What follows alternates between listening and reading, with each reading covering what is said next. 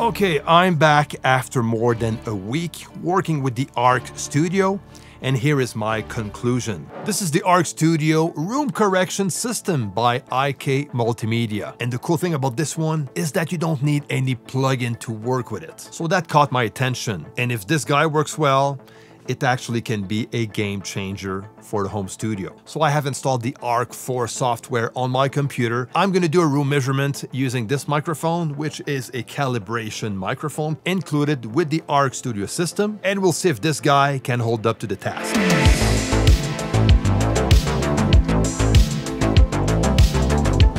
So just gonna give a shout out to IK Multimedia who sent me the Arc Studio, but all opinions are mine and IK Multimedia doesn't have a say in the content of my video. So if you don't know what a room correction system does, it actually analyzes and measure the frequency response of your room and your speakers and creates a profile you use to get a flatter response from your speakers. But in my book, the number one thing to do is to work your room acoustics with acoustic material and then fine tune with a room correction software or system. So the Arc Studio comes with this piece of hardware, which makes it different from what's available out there because usually a room correction system that is based on hardware can cost thousands of dollars. And the Arc Studio comes out at 299 US dollars, which is very affordable. But again, does it work well? So it comes with a USB-C cable, a power supply of course, and also this measurement microphone to do the room measurements. All right, so Arc microphone is ready to go. I'm gonna plug it in. Important thing is to use a mic stand to do the measurements. The simple reason is I'm gonna need, and you'll see it right away, if I click on next, select my microphone, make sure the microphone is well connected to the sound interface. Okay, I'm gonna have a choice of different listening areas. Okay, so there's the project studio, there's the studio monitor spot, the wide area, back area, and the movie studio home theater. I'm gonna leave it to monitor spot, which is basically what I have on my side. Click on next, and there you go. So that's why it's important to use a mic stand because you're gonna need to measure the ear level height, okay? And place your microphone accordingly to that height, okay? On my end, 46 inches is what I'm going for. And then I'm gonna click on next, play a test. Perfect. Next again. Okay, now I have uh, a choice between the quick mode or the advanced mode. Okay, I'm gonna click advanced. I wanna get the maximum of measuring points possible. Click on next. Okay, so it says the room analysis will help you in measuring seven points taking at three different height layers for a total of 21 points. So basically uh, a set of sets measurement points will be taken six inches below ear level okay? And then some measurements at ear level and some measurements six inches above ear level. So let's start with measurement layer one. Oh yeah, and by the way, you don't need to have the Arc Studio hardware connected. It needs to be turned off.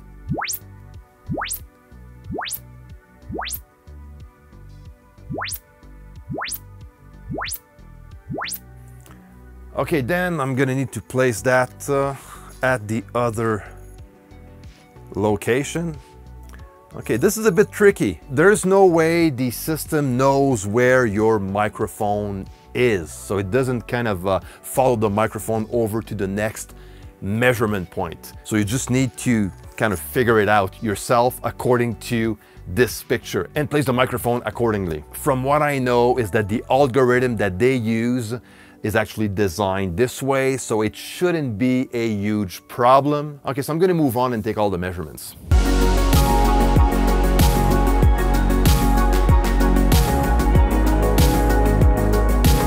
At the back of the device, we have a pair of XLR outputs and inputs, and also the USB-C connection to connect to the computer. On my side, the signal comes out of my audio interface, straight into the Arc Studio, which then goes into my RAM 1000, which is my monitor controller. Now the room measurement is done. This is the result of the measurements that I just took. Now I have a bump at around 150 hertz, which is a bit normal considering the fact that I'm set up in a small size room. Now I'm rebuilding all of my panels into proper panels and I'm gonna have the chance to fix that up a bit on my next measurements once my new panels are up and running. Okay, so this is in process right now. Now from this point, I can edit uh, that measurement. If I click on edit on top, I have some EQ points that I can use to customize uh, my listening experience if I want to. I have different types of targets I can choose from. Uh, the default one has a bit of a bump in the low end, which is fine. But for now, I'm just gonna keep it at flat. Or I can even, you know, go in between and just increase a bit of the low end if I want want to and create myself a custom a custom target. But I'm going to leave that at flat. And then I have like different correction types. The default one, I have the sharp. And as you can see, there's the after measurement, which is in yellow. Let me just uh, remove the initial uh, measurement. And this is what I have after correction, okay? Uh, so this is the sharp, that's the default, and that is the broad correction type. So basically, it's the intensity of the correction. Okay, so I'm going to leave it at default. I think that sounds pretty good and natural at the same time. Now, the thing that I don't have on this software is a mix knob, which I would like to, uh, to have, honestly. But the correction type will actually achieve sort of of the same thing. I would use a mix knob to reduce the intensity of the correction, but here I have like two different choices to work with. So for now, I'm good with that, but a mixed knob would have been cool. There's also a low range and a high range, which is gonna bypass the correction for that range if I want to. So we have on top a two-phase option, the natural and linear, and this is to ensure a good stereo image. So natural mode will improve the phase response, while linear will maintain the existing phase response. Okay, so we try it out. That depends on the room you work with. Now, the cool thing is this, and this is when the Arc Studio comes in play. Once it's connected and installed on your computer, on the top of the Arc 4 software, you will see your Arc Studio hardware listed. You select it. From this point, once you're good with the measurements and you're good with your edits or whatever you did on the edit side, you just click on store and it's gonna sync to the hardware. And this is where the magic happens. From this point on, I can close the Arc 4 software from my computer and only use the Arc Studio box. And that's it. That's all I have to do to activate or deactivate my room correction, which is great. So I don't need to install a plugin in Cubase while I'm mixing. I don't need to use a software on my computer to be used as an audio driver to make the room correction. No, everything goes to that box and the box has my measurement profile loaded. So the only thing I need to do is to make sure that this light is on, the correction light is on, and I'm good to go. If I want to bypass the correction, uh, let's say when I'm mixing on headphones and I don't need any room correction for my headphones, I just turn that off and that's it. I want to bring the correction back when I'm using speakers. That's it. That's all I need to do. And this is super practical. Now I paid attention on a few details. I wanted to make sure that it didn't alter the audio quality going into the box.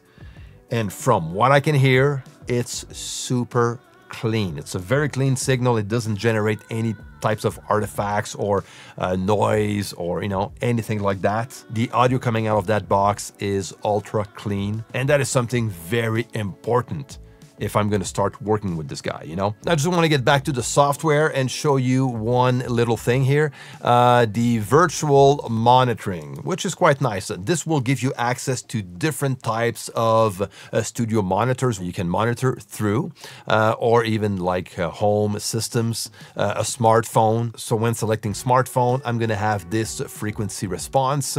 Uh, same for a 49 inch TV you know, and even a bunch of studio monitors, like let's say the white 80s. I'm pretty sure this is the equivalent of the NS10s. So I can load that profile if I want to check my mixes on a NS10 type of monitors. Some of you will ask me about headphone measurements.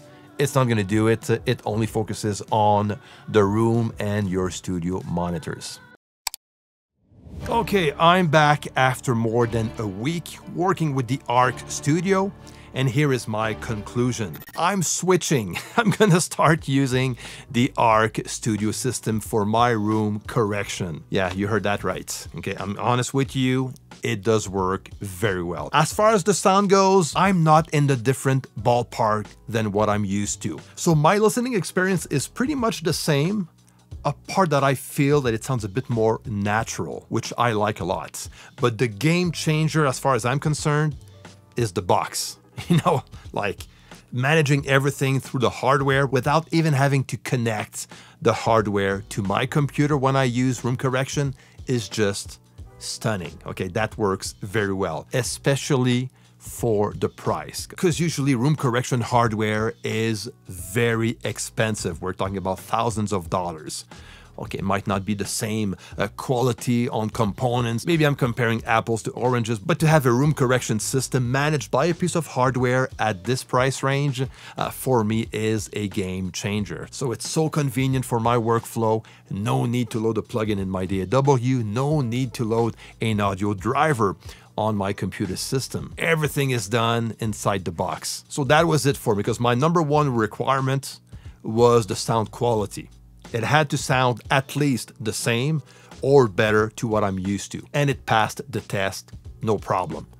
So then the box made everything. Now, the only thing I was a bit skeptical is when I was doing the room measurements. And what was a bit confusing for me is to get close to the suggested measuring points that I saw on the software because there was no way for the software to follow you around, to follow the microphone around while making the measurements. But when I open my measurement profile and start to listen to mixes and music uh, through the ARC Studio, I said, okay, that, that is working. that works very well. That sounds very good. So it does take those measurements well enough to give me amazing results. And in the end, the end result is what counts. So let me know if you use any room correction for your speakers or headphones. And if you would use a system like the ARC Studio. Leave your questions and comments down below.